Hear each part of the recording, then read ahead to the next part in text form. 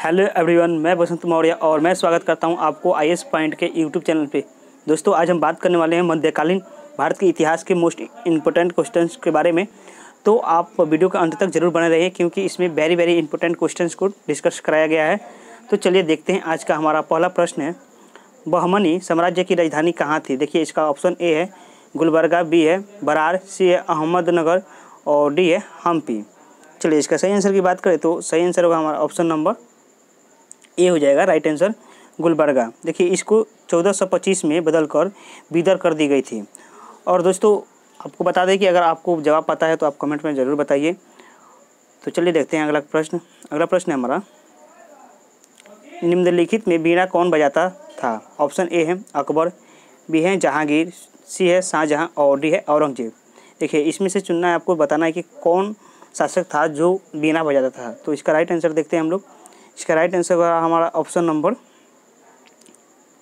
D Aurangzeb. चलिए, अगला प्रश्न देखते हैं हमारा। प्रश्न नंबर थ्री है हमारा।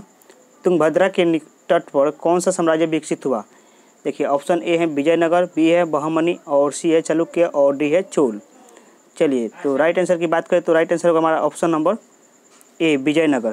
देखिए, विजयनगर की स्थापना हरिहर और बुक्का नामक दो सगे भाई थे, उन्हीं के द्वारा की गई थी।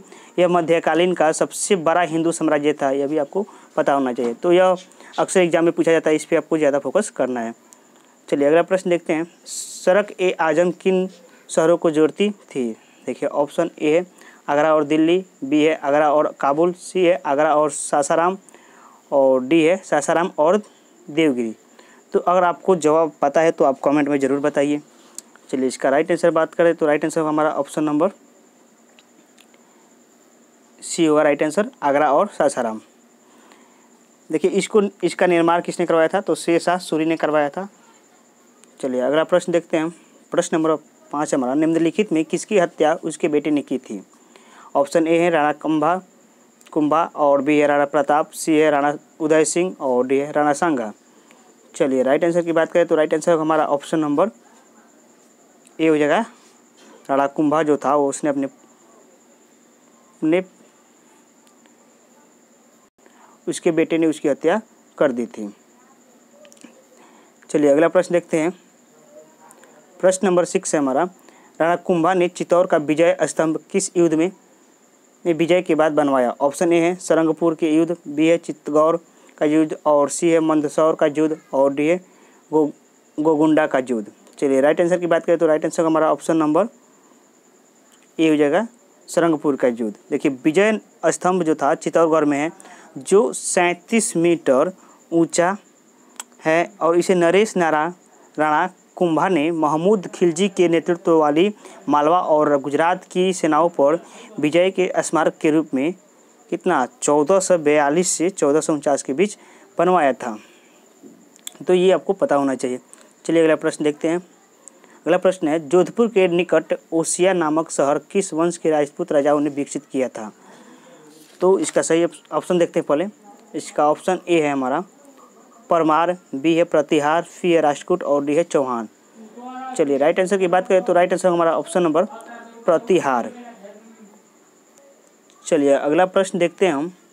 अगला हमारा प्रश्न नंबर आठ है, कृष्णदेव राय के क्षेत्र में वर्तमान के किस प्रदेश के हिस्से नहीं थे? ऑप्शन ए है तमिलनाडु, बी है केरल, सी है कर्नाटक और डी है महाराष्ट्र। चलिए, अगर राइट आंसर की बात करें तो राइट आंसर हमारा ऑप्शन नंबर डी हो जाएगा महाराष्ट्र। दोस्तों, अगर आपको जवाब पता है तो आप कमेंट में ज़रूर बताइए। चलिए, अगला प्रश्न देखते हैं हम। अगला प्रश्न है हमारा नाइन्थ नंबर पूर्व पश्चिम समुद्र दिशावर की उपाधि किसने धारण की? ऑप्शन ए है हरिहर, प्रथम बी है चंद, समुद्रगुप्त सी है कृष्णदेव राय और डी है हरिहर द्वितीय। चलिए राइट आंसर की बात करें तो राइट आंसर हमारा ऑप्शन नंबर ए हो जाएगा, हरिहर प्रथम। चलिए लास्ट क्वेश्चन है हमारा। फारसी इस्लामिक विद्वान Kamaluddin Abdul Razzaq ibn Ishaq Samarqandi ने 1440 के दशक में किस भारतीय शहर की की यात्रा की? ऑप्शन ए है कालीकट बी है दिल्ली सी है आगरा और डी है जौनपुर।